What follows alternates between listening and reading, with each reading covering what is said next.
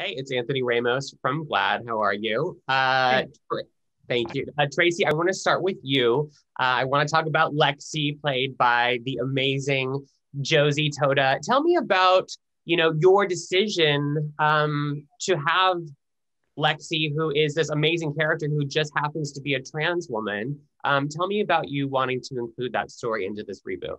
Yeah, well, it started. Um, it it really started when I was coming up with characters for the show, you know, it was a little daunting to me thinking about like, okay, so I have to find six um, beautiful, hilarious, um, undiscovered teenagers to come be on this television show, and that that sounded really hard.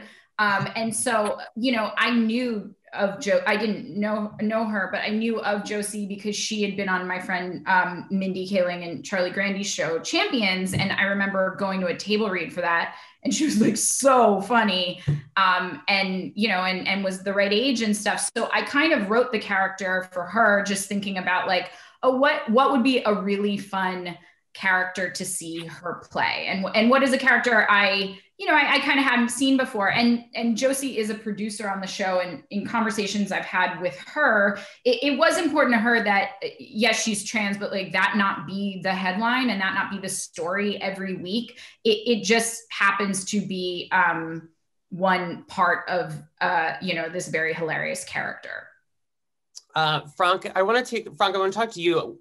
I think this new reboot, obviously, diversity seem diversity and inclusion um, seems like it's top priority for you. What, what, how, why was it so important to kind of show the kids from you know various backgrounds this time?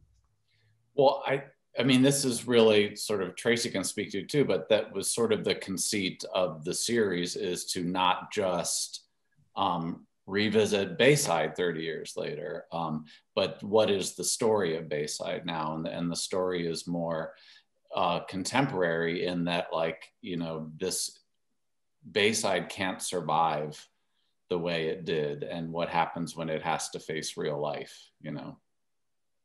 Yeah.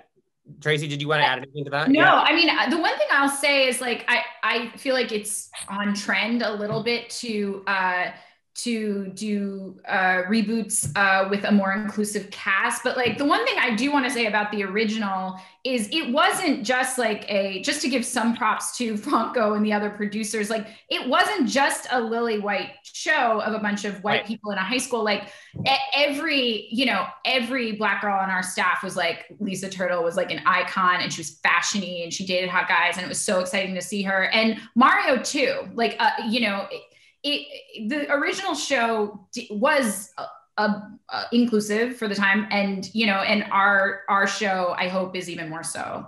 Absolutely. And you know just thinking about um with the storyline of lexi and we see immediately that her her peers really accept who she is from yeah. the very beginning. Um and it's really not even a a second thought for them to so you know knowing that this is on um, you know potential to reach so many families what do you hope that families and some new you know kids take away from you know seeing that kind of acceptance?